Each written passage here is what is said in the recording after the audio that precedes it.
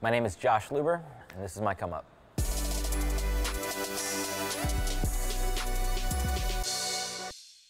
This is about this is about my whole life. I am 40 years old. I grew up playing basketball when Jordan played. In 1990, I was 12, I was in seventh grade, and I saw a kid at school wearing the Jordan 5 grape, and that was the like aha, like first of all to see the, the purple and the teal and all that. And from that moment, from 1990 through 2000, so for 10 years I wanted Air Jordans and I, I um, never had them. But I played basketball every year, and I went to the high school down the street from Kobe Bryant. Every good basketball player in our neighborhood was recruited to go play with Kobe on that team that won the state championship. And so it left like me and the other like five foot nine Jews to play on my team. And so we won three games in two years, right? We lost one game by 93 points. We lost one game by 93 points to a team that would later be in the state championship against Kobe's team. They, they, with eight seconds left in the game, their team called timeout. They were up 91 to set up another play.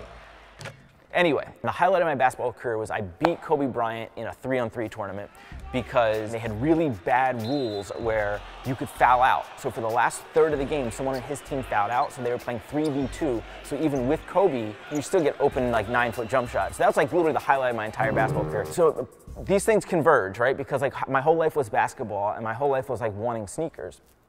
And so um, I graduated college in uh, 1999 and I had my first job and I was a furniture salesman. I had my own money for the first time. And so in the fall of 2000, the Concord 11 comes out.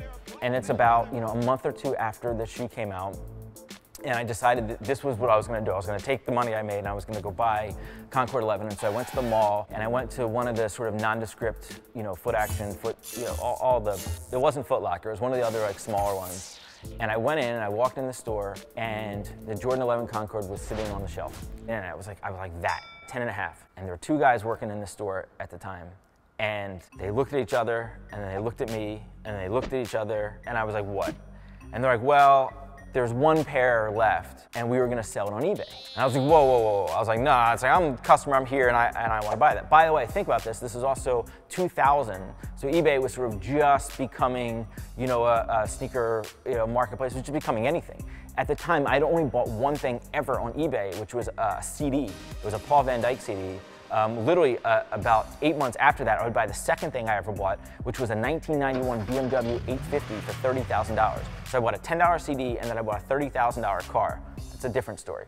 So I'm going back and forth with these two guys who have like have made it pretty clear that like they don't really want to sell it to me, but you know, being good corporate employees, they caved and they sold me the shoe.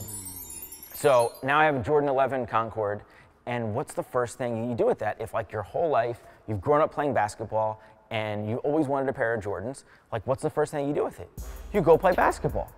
So for the two years after I graduated college, we played in this rec league and I was probably as better as I've ever been during that period of time. And I wore those shoes that whole season. And in the championship game, wearing the Jordan 11 Concords, I had 51 points. I hit 15 threes and had three layups in the Jordan 11 Concords and I still have those, and th those shoes are completely beat because I played them for years. And most people don't believe that I ever put up 51 in a game, but the other people on that team can vouch that I put up 51 in that game, um, and you know, it's the first pair of Jordans I ever owned.